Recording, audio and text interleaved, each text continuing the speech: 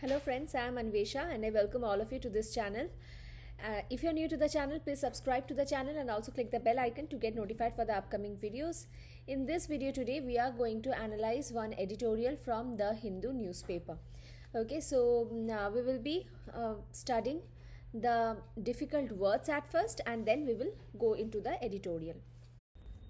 Unacademy is going to start new batches for bank exams on 27th January. This is a batch for SBI PO 2022 exam. And in these batches, you'll get complete coverage of the syllabus. Also, you'll get PDF study material, unlimited access to tests, weekly quiz, and mock tests. Also, you can uh, get your doubts solved in the doubt clearing sessions. The sessions will be conducted here in this batch. The session will be conducted in Hindi and the notes will be provided in English. Now this batch is for all bank exams. This one is for IBPS and SBI PO 2022 exam. You can uh, have a look at the educators. Again, these batches are for IBPS PO, all other bank exams and SBI PO exams. In all these batches, the complete syllabus will be covered from the scratch. Okay have a look at the batches. Now, um, Unacademy also has free test series for bank exams. This is the schedule for the free test series. There is a ask a doubt, ask a doubt feature in Unacademy. So uh, here you can see how you can ask your doubts. So you can get your doubts solved instantly and this feature is available on Unacademy website.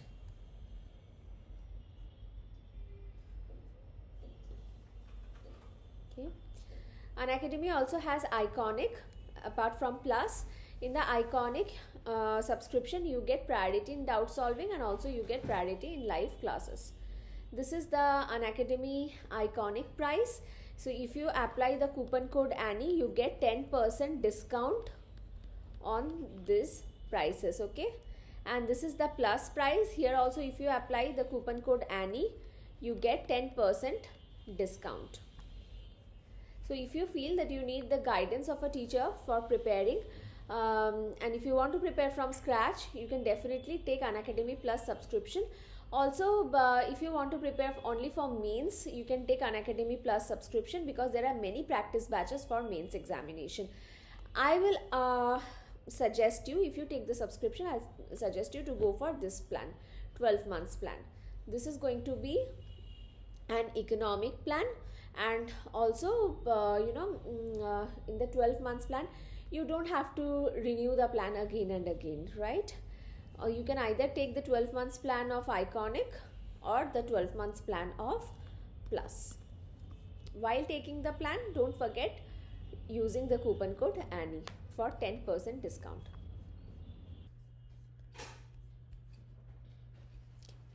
The first word here is dichotomy Dichotomy is a noun. Okay. Part of speech is noun. Dichotomy means a division or separation. Okay. Discourse. Discourse is a noun and discourse means discussion, debate. Okay. Superfluous. Ends in OUS. So this is an adjective. And superfluous means unnecessary. Something that is unnecessary. Something that is extra redundant. Okay.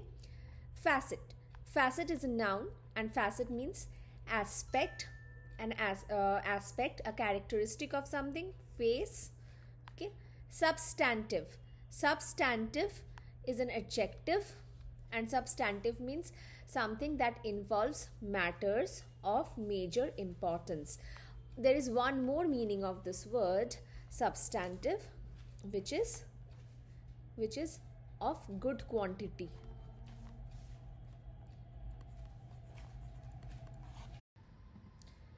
inherent. Inherent is an adjective.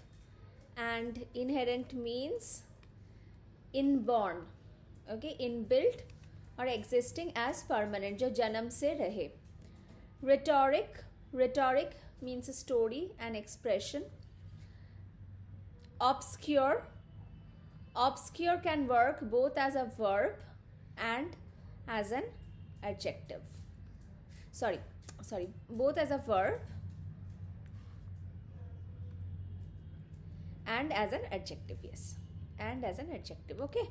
Obscure means to hide something. When it acts as a verb it means to hide something. And when it acts as an adjective it means unclear or hazy. Aid aid can act both as a verb and as a noun. Aid means help. Gauge. Gauge means to measure or calculate. Gauge is a verb. Evade is a verb. Evade means to avoid or escape envisage is a verb. Envisage means to predict to foresee foresee to foretell something. Imprimatur. Imprimatur means official approval. It is a noun. Parity. Parity is a noun. Parity means equality. Jurisprudence is a noun. Jurisprudence means a legal system. Today's editorial is false dichotomy.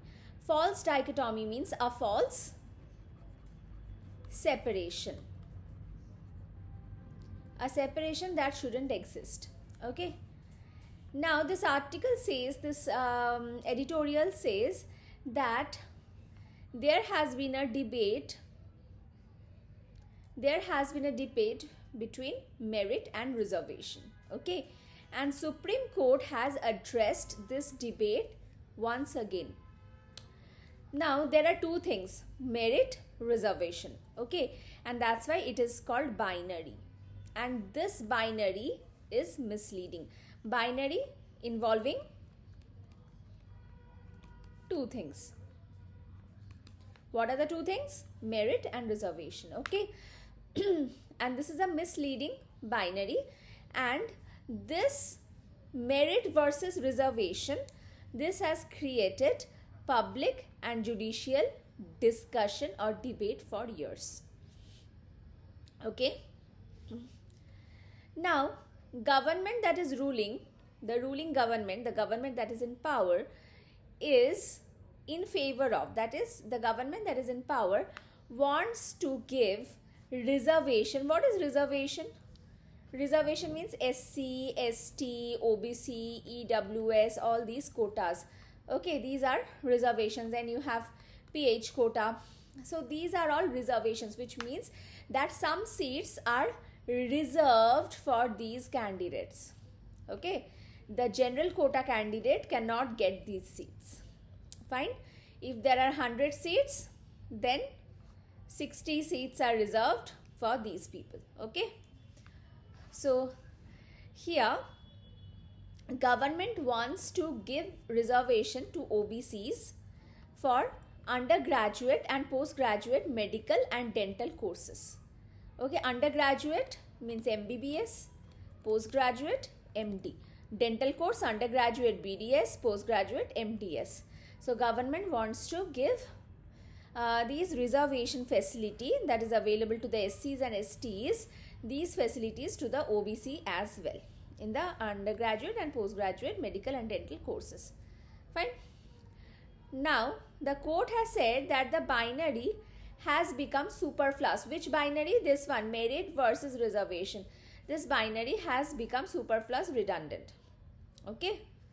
Now the courts have come uh, to recognize the idea of substantive equality which sees affirmative action not as an exception to the equality rule but as a facet of the equality norm this means that substantive what is substantive equality? Substantive equality means what is the meaning of substantive? We just now read involving matters of major importance and good quantity of adequate okay? So the government thinks that if you want to make equality adequate if there should be adequate equality then affirmative action which means which means supportive action supportive means uh, in support of reservation supportive action should be taken. And this supportive action is not an exception to the equality rule. It is not that if you give reservation to these candidates equality will be um, uh, hampered. It is not like that. It is actually a way of giving equality a way of generating equality. Okay? Now what is equality what is equality? Now if you take part in a race okay if you take part in a race then all the competitors should start from the same position.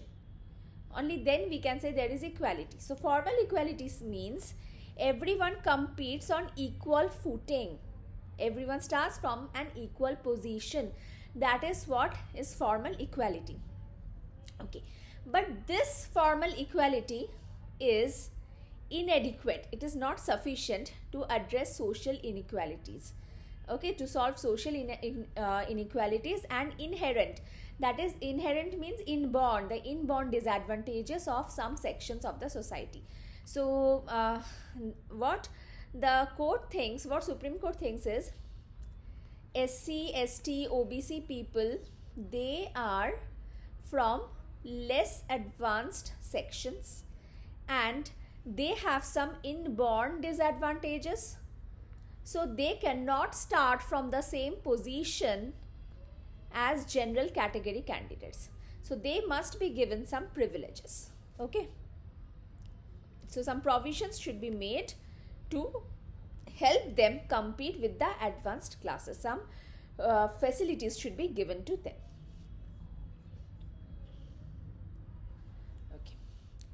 Now the next paragraph says the competitive examination may be necessary for distribution of educational opportunities but it does not enable equal opportunity for those competing without the aid of social and cultural capital inherited inherited skills and early access to equal schooling quality schooling. This means that whenever you take a competitive examination like the NEET for medical entrance okay now this examination is taken, this examination is taken for distribution of educational opportunity. So if your rank is good in this examination, if your rank is within uh, 1000 say, you get into a medical college. Okay, so this is for what? For giving you educational opportunity. But actually this examination does not give equal opportunity to every student. Why? Because you see uh, people who are coming from backward classes, they are probably not getting quality schooling. So if they are not getting quality schooling, how will they excel in this examination? Understood? They probably don't have the capital to take coaching for such examinations. So good performance in an examination does not reflect hard work but uh, and does does reflect hard work but does not always reflect merit solely of one's own making so this means that if your performance in an examination is good, uh, it obviously it means you have worked hard, but it does not mean you are very much meritorious, you are very much talented on your own. Because there are some things which are hidden. And what are the things? From which family you come. If you come from a good family, you have access to good things. You have access to books, you have access to technology, internet, you have access to coaching centers now which school you have gone to? If you have attended a good school then there are good teachers and you have all the materials needed for your preparation. Fortune. Fortune means money and a gift of talents. These things are hidden. Okay. Now and these things are um, the things that the society currently values aids in one's advancement. And these are the things that actually helps in one's success. Fine now, uh, this person, Justice D.Y. Chandrachud, this person also raises one more question. Can marks be used? Can marks be a measure of one's individual merit? Can marks be a measure of one's individual merit when there are so many things in the background? What are the things? Which family is the uh, child coming from? Where has the candidate uh, been schooled? Which school he has gone to? uh, does he have equal capital does he have adequate capital for his studies? So these are the many things which are there in the background which should be considered okay? So merit alone merit is not one's own making. Merit comes from many other things okay? Seen in the light reservation ensures. Now if you if you consider all these things then you will understand that reservation actually makes sure that the backward classes also get equal opportunities. They also get opportunities which they are being deprived of because of some barriers because of the family because of the situation they are in.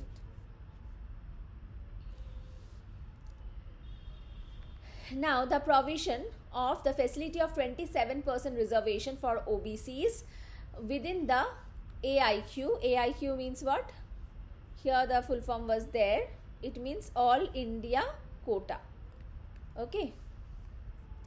So the 27% reservation for OBCs within the AIQ, this was introduced in July 2021. It it was it is implemented from 1986. The AIQ always was envisaged as a domicile free quota to access medical education in all colleges in the country okay.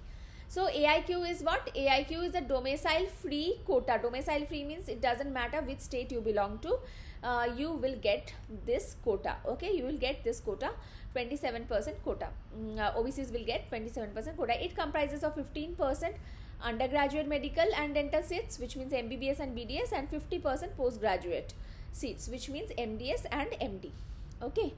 Uh, for two decades there was no reservation in this segment for two decades there was no reservation in the segment in 2007 the court allowed the introduction of 15% reservation for SCs and 7.5% for STs. So in 2007 it was again introduced.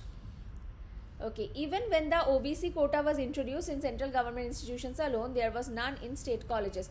So in central government institutes, OBC quota was there. Here we are talking about medical colleges. Please remember this medical and dental colleges. In central government institutes, there was quota for OBCs, but in state colleges, there were no quota for OBCs. Mm, and this decision should be, uh, this discrimination, this separation should be ended. Okay. And uh, there has been an official order on it.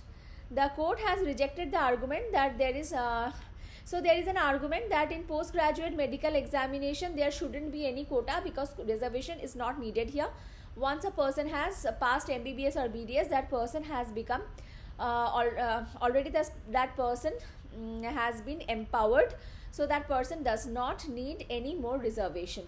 But this is not true. The court has rejected it because the impact of backwardness cannot disappear. The impact of backwardness cannot disappear once a person becomes a graduate. Okay? So this is the entire editorial